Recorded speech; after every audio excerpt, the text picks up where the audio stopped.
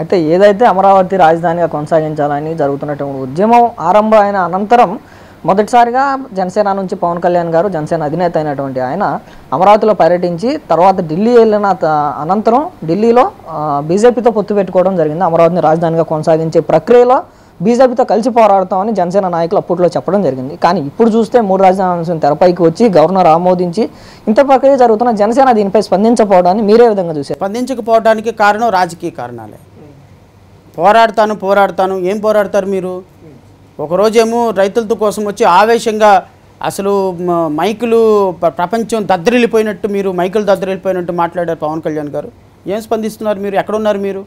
రైతులు ఈ విధంగా చట్టం చేసి వాళ్ళు ఆహాకారాలు చేసి రోడ్ల మీద నిలువు నీడ లేకుండా ఆహాకారాలు పెడుతుంటే ఏమైపోయినారు జనసేన నాయకులు?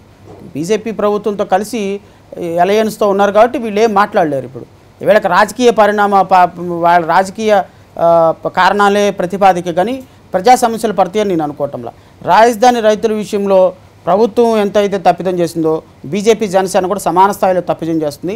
ఈ రెండు కూడా రేపొద్దున బోల్తా పడక తప్ప. కానీ జనసేన వినిపిస్తున్నటువంటి వాదన ఏంటి అంటే రెండు వేల పద్నాలుగు ప్రచారానికి సంబంధించి రెండు వేల పద్నాలుగు ప్రచారానికి సంబంధించి కానీ అంత ముందు కానివ్వండి మేము ముందే చెప్పాం. ప్రభుత్వాలు మారితే రాజధాని మారుతుంది అని మేము ముందే చెప్పినా అక్కడ రైతులు కానివ్వండి అక్కడ వారు వినలేదు అని వారి వాదన. వినలేదు ఓట్లు వేయలేదు వినలేదని చెప్తున్నారు. మాకు ఓట్లు వేయలేదు మాకు సీట్లు ఇవ్వలేదు. మేము ఎందుకు మీకోసం ప్ర పోరాటం చేయాలి? మీరు ఓట్లు వేసుకుంది రాజకీయంగా మీరు వైసీపీ కదా. కాబట్టి వైసీపీ నిర్ణయాలకు బద్దులు అవ్వండి అనేది ఇంటర్నల్గా వాళ్ళకు ఉన్నటువంటి ఆలోచన విధానం అనుకుంటున్నాను నేను ఖచ్చితంగా. ఎందుకంటే మీరు ప్రభుత్వాలు మారితే రాజధాని మారుతుందని మేము చెప్పినా వినలేదు. అంటే మీరు మాకు అధికారం ఇవ్వలేదు. బీజేపీకి అధికారం ఇవ్వలేదు అధికారం ఇచ్చింది వైసీపీ మీ సావు మీరు చావండి అనేది వాళ్ళ వాదన. నేను అనుకోవటం ఇది ప్రతిపక్షాలకి మంచిది కాదు. ఎందుకంటే ప్రతిపక్షాలు అనేది ప్రజల పక్షాన ఉండి పోరాటం చేయాలి. ప్రతిపక్షంలో ఉన్న వాళ్ళు పాలకపక్షంలోకి రావాలి అంటే ప్రతిపక్షంలో ఉన్నప్పుడు ప్రజా సమస్యలను పోరాటం చేస్తేనే పాలకపక్షంలోకి వస్తారు. అంతేగాని మీరు ఆ ప్రభుత్వానికి ఓటేశారు కదా మేము ప్రతిపక్షంలో ఉన్నాం మాకేం సంబంధం అని ఊరుకున్నారనుకోండి ఈ నెక్స్ట్ ఆ ప్రతిపక్ష హోదా కూడా ఉండదు. అయితే సార్ ఏదైతే రెండు వేల పద్నాలుగు రీఆర్గనైజేషన్ యాక్ట్ తర్వాత దాంతో పాటుగా capital regional development authority CRDA యాక్ట్ని కూడా ఫామ్ చేయడం జరిగింది. ఇప్పుడు ఈ నూతన గవర్నమెంట్ వచ్చాక సిఆర్డీఏ యాక్ట్ని కూడా రద్దు చేసే విధంగా ముందుకు అడుగులు వేస్తా ఉంది. దాని ప్లేస్లోకి అమరావతి రీజనల్ డెవలప్మెంట్ అథారిటీని తీసుకొస్తా ఉంది. అసలు సిఆర్డీఏలో రైతులకు ఇచ్చినటువంటి హామీ ముప్పై మూడు వేల ఎకరాలు వాళ్ళ దగ్గర నుంచి ల్యాండ్ పూలింగ్ ద్వారా తీసుకొని వాళ్ళకు ఒక భరోసా ఇచ్చారు. అంటే వాళ్ళు డబ్బులు తీసుకొని ల్యాండ్లు ఇవ్వాల? అంటే వాళ్ళని అభివృద్ధిలో భాగస్వామ్యం చేశారు. Land pooling is a very good system in fact అంటే మీరు ఒక ఒక ఎకరం పొలం ఇస్తే దాంట్లో మీరు ఈ రాజధాని డెవలప్ అయితే రేపొద్దున కమర్షియల్ స్పేస్ ఎంత వస్తుంది. దానికి సంబంధించి మీకు ఉద్యోగాలు వస్తాయి. ఇక్కడ ఇక్కడ క్యాపిటల్ అంటే వాళ్ళ ఫ్యూచర్ సెక్యూర్ సెక్యూరెన్స్కి సిఆర్డీ యాక్ట్ అనేది చాలా పూర్తి భరోసా ఇచ్చి ల్యాండ్ పూలింగ్ చేసినటువంటి వాళ్ళకి కొంత నెల నెల ఇంత పెన్షన్ ఇవ్వాలి. కొన్ని బెనిఫిట్స్ పెట్టినాడు చట్టం. ఆ చట్టాన్ని ఇప్పుడు రద్దు చేసి అమరావతి రీజనల్ డెవలప్మెంట్ అని చట్టం చేశాం ఇంచుమించుగా రెండు ఒకేలాగా ఉన్నాయి. చట్టంలో పెద్ద తేడాలు అయితే ఏం లేదు. అసలు చట్టం రద్దు చేయటమే చాలా పొరపాటు. ఒక ఇష్యూరెన్స్ ఇచ్చినటువంటి చట్టం వన్ షాట్లో నేను తీసేస్తాను. నాకు అవసరమే లేదు. సిఆర్డి యాక్ట్ అనేది అనేది it's unconstitutional ultra vires to the constitution అంటే ఏదైతే సిఆర్డిఏలో రైతులకు ఇచ్చినటువంటి హామీలు ఉన్నాయో వారికి ఇస్తామన్నటువంటి కౌలు కానివ్వండి వారికి ఇస్తామన్నటువంటి డెవలప్మెంట్ కానివ్వండి వారికి గత ప్రభుత్వం ఇచ్చిన హామీల కంటే ఎక్కువగానే ఇస్తామంటూ ఇప్పుడు ఉన్నటువంటి రాష్ట్ర ప్రభుత్వం చెప్తా ఉంది.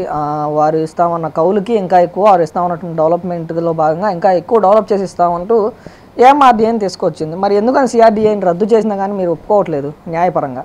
అసలు ఇక్కడ రాజధాని మార్చటమే ప్రధాన అంశం. ఎందుకంటే మీరు శాసన రాజధాని అన్నారు. శాసనసభ సమావేశాలు ఎన్నిసార్లు జరుగుతాయి సంవత్సరంలో? మూడు సార్లు నాలుగు సార్లు? కరోనా ఉంటే ఒక్కసారి కూడా జరగకపోవచ్చు ఎట్లాంటి సందర్భంలో? సో నాలుగు సార్లకి ఎమ్మెల్యేలు మినిస్టర్లు వచ్చి పొద్దున వచ్చి కూర్చొని ఒక పది రోజులు ఐదు రోజులు ఇక్కడ ఉండేసి కాఫీ తాగి టీ తాగి నలుగురు అసెంబ్లీలో కొట్టుకొని వెళ్ళిపోతే అమరావతి డెవలప్ అవుతుందా? రాజధాని అనేది రాష్ట్రంలో నడిబొడ్డున ఉండి వాళ్ళు ముప్పై మూడు వేల ఎకరాలు ఎందుకు ఇచ్చారు? ఈరోజు ఈ ముప్పై మూడు వేల ఎకరాలు ఇచ్చేసి రేపొద్దున వెయ్యి ఎకరాలకు కూడా ఎవరు రాని పరిస్థితి. నిజంగా వాళ్ళకి ఆ రోజు ఈ క్యాపిటల్ మన ఆంధ్రప్రదేశ్ రాష్ట్రం భూమి అనేది నిజంగా మన కడుపున పుట్టిన బిడ్డ లాంటిది. ఆ బిడ్డని ఇంకొకరికి దత్త తీయాలి అంటే ఎంత బాధ ఉంటుందో పాలకులు అర్థం చేసుకోవాలి. అలాంటి బిడ్డల్ని ముప్పై మూడు వేల మంది బిడ్డల్ని త్యాగం చేశారు ఇరవై తొమ్మిది వేల మంది రైతులు. ఈరోజు ఇక్కడ రాజధాని ఉండదు. రాష్ట్రం వాళ్ళు డబ్బుల కోసం ఇవ్వాలి భూమి. మన భూమి డెవలప్ అవుతుందని ఇచ్చారు. మన అమరావతి డెవలప్ అవుతుందని ఇచ్చారు. మన జిల్లా డెవలప్ అవుతుంది మన రాష్ట్రం డెవలప్ అవుతుందని ఇచ్చారు. ఈరోజు మీరు మూడు రాజధానులు చేసి పడేసి ఈ ఈ భూమికి విలువ లేకుండా మళ్ళీ మీ భూములు మీకు ఇస్తాం మీరు పండించుకోండి అంటే ఏంటది యూజ్? కానీ అక్కడ స్థానిక నాయకులు రైతులు రియల్ ఎస్టేట్ వ్యాపారం చేశారు అని ఆరోపణ. రియల్ ఎస్టేట్ వ్యాపారం చేసేవాళ్ళు ఎవరో? ప్రూవ్ చేయండి మీరు. అధికారులు మీ వాళ్ళు ప్రభుత్వం మీది పోలీసులు మీది రెవెన్యూ వ్యవస్థ మీది. మీరు ప్రూవ్ చేయండి.